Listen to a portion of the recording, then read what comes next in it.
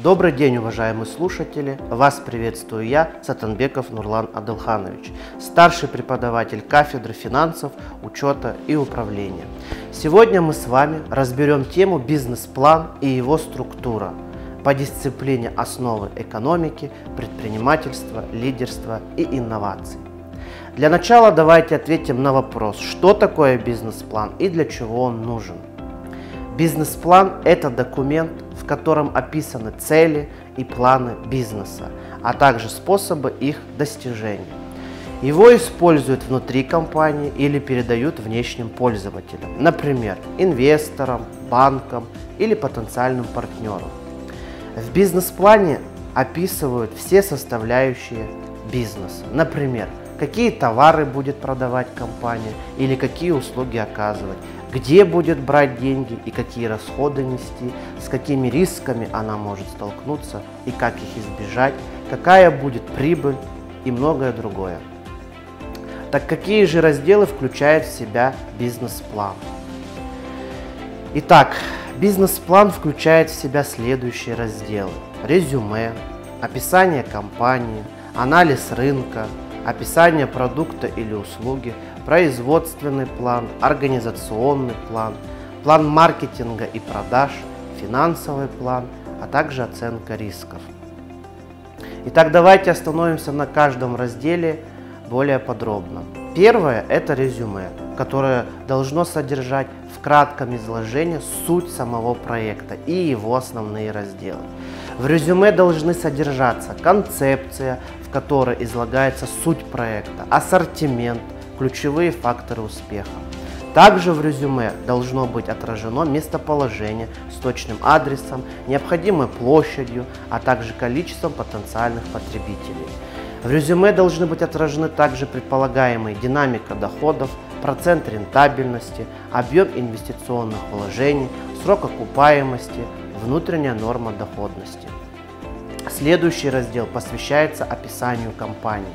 В данном разделе приводятся такие, э, такая информация, как юридические данные о предприятии, история ее создания, текущая организационная структура и инфраструктура бизнеса, компетенции предприятия, то есть опыт, способы удовлетворения потреб, потребителей, ноу-хау, система сбыта, персонал, логистика. В разделе также необходимо определять конкурентное преимущество предприятия за счет компетенций и географического местоположения. Нужно демонстрировать возможности нашей фирмы, которые трудно воспроизводятся конкурентами, отличительные компетенции нашей фирмы. Отличительные компетенции следует описывать методом свод-анализа, бенчмаркинга, а также технологическим аудитом. Следующий раздел называется «Анализ рынка», который должен показать читателям бизнес-плана состояние отрасли и ниши вашего бизнеса.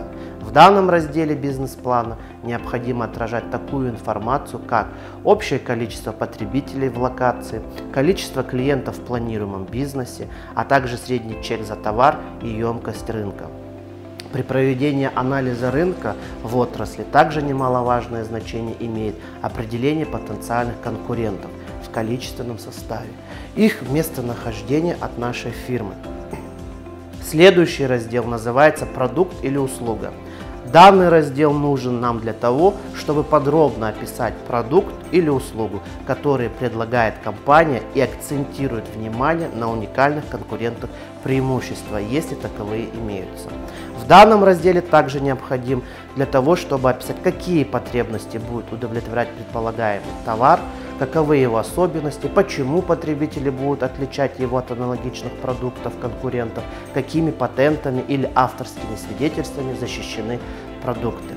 Данный раздел нужен также для того, чтобы описать наименование продукта и его назначение, а также основные характеристики и потребительские свойства, основные конкурентные преимущества продукта, потребители и направление использования продукции, жизненный цикл продукта, номенклатура и структура выпуска продукции.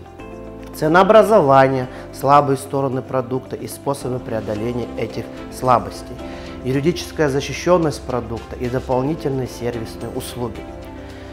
Раздел «Производственный план» должен описывать процесс создания продукта или услуги. В этом разделе нужно рассказать обо всех этапах производства, начиная с закупки материалов и сырья и заканчивая доставкой готовых продуктов конечному пользователю. В данном разделе должна содержаться информация по технико-экономическому обоснованию бизнес-проекта.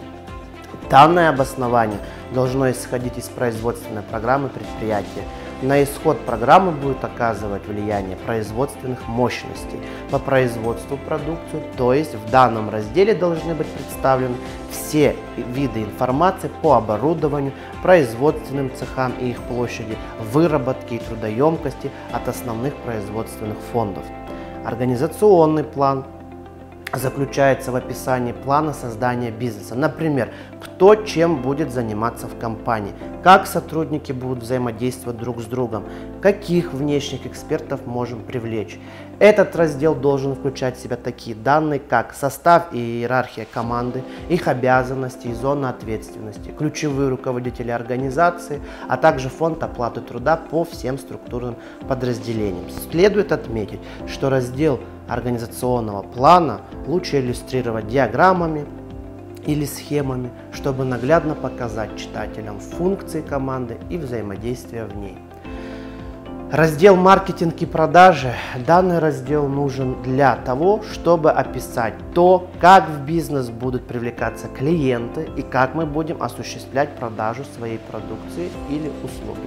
В данном разделе должна быть поставлена задача как занять устойчивое положение на рынке. Данный раздел также предусматривает такие важные вопросы, как сегментирование рынка, позиционирование продукции и ее продвижение.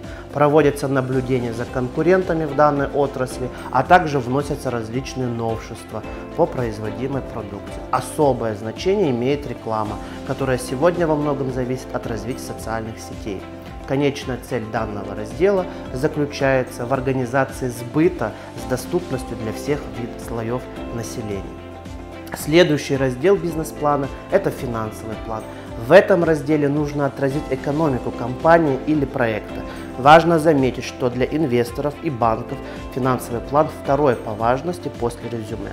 В данном разделе должна быть представлена информация как по таким направлениям, как отчет о прибылях и убытках, а именно выручка, валовая прибыль, амортизация основных средств, расходы на заработную плату, погашение кредиторской задолженности, прибыль до налогообложения, чистая прибыль. Отчет о движении денежных средств с такими операциями, как поступление от продаж, выплаты персоналу по заработной плате, прочие выплаты, например, арендные платежи, денежные потоки от операционной, инвестиционной и финансовой деятельности. Бухгалтерский баланс, в котором должна быть представлена информация по долгосрочным и краткосрочным активам, а также дол долгосрочным и краткосрочным обязательствам, капитале и его структурном соотношении по собственному и привлеченному капиталу. Последний раздел бизнес-плана называется «Анализ риска». В этом разделе нужно представлять информацию по оценке низкой, средней или высокой вероятности рисков к группе рисков, в свою очередь, следует относить появление нового конкурента, снижение платежеспособности потребителей, рост стоимости оборудования и его ремонта, рост стоимости сырья, увеличение фонда оплаты труда и административных расходов.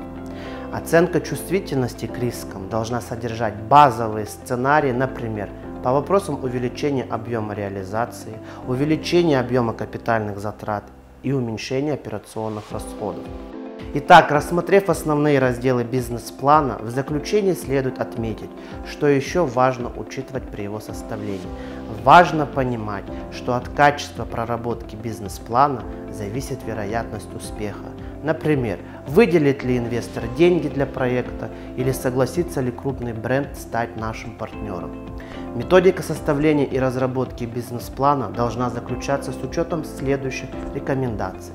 Краткость изложения самого, самого главного по каждому разделу бизнес-плана, доступность в изложении и понимании, неперегруженность техническими подробностями, убедительность, лаконичность, пробуждение интереса у потенциальных партнеров, а также соответствие определенным стандартам, касающимся разработки бизнес-плана. Благодарю за внимание.